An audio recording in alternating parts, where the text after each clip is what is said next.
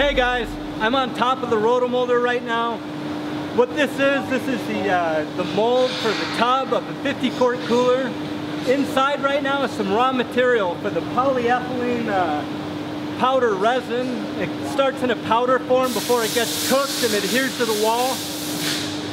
Next I'll show you kind of how the different phases of the rotomolder works. You've heard me say it takes an hour for each cooler on the rotomolder. Basically 20 minutes setup time, 20 minutes in the oven, 20 minutes cool down time. The rotomolder oven is big enough that you can park a car into it. And the rotomolder, basically what it is, when the coolers go inside the oven, the reason they call it roto is that the molds rotate on all axes to get the plastic and every single part inside the wall and it creates a hollow product before it gets filled with insulation. Older footage needs a voiceover and some music. This is Mr. Dan. I am so thankful for him. He never stops smiling, he does whatever is required, and he has great ideas. He has been rotomolding coolers for years, and he was one of the first to join the new Maluna facility early last year. Here you can see him putting the inside of the tub mold on, after the plastic resin powder has already been put in, and fastened in all of the inserts.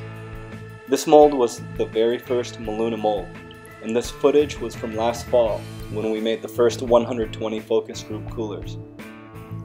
Here, you can see the mold inside the oven. It's rotating and just finishing the 20 minute cook time. The oven opens up and backs out of the, out of the way. The cooler will continue to rotate for another 20 minutes, while the carousel swings the arm around into the cooling stage. Rotomolding is great for large, hollow, strong plastic parts, including outdoor kids' toys, or outdoor adult toys like kayaks. Rotomolding is perfect for these coolers. It can be a very nuanced process and difficult to pin down a routine but when it's done right, you can get a nice, uniform wall thickness and no warping. And now you can see the cooler back in the setup stage. It's been molded and ready to remove. First, Mr. Dan needs to pull the undercut portions of the mold out.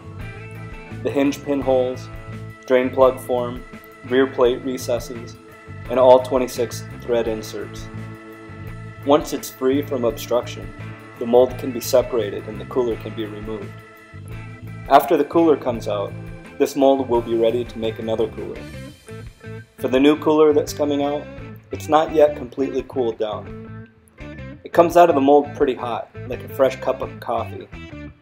But when it goes to insulation, there is an inspection stage and additional cooling time, and equipment while the cooler shrinks into final shape. Final cooling and shrinkage is extremely important to have a dialed in routine because it has such a big impact on fit and finish of the final product. Tomorrow, I'll share how the insulation gets injected. And again, another shout out to Mr. Dan, who managed all of the iterations to get the molding procedures perfectly documented for excellent coolers that pass final inspection every time.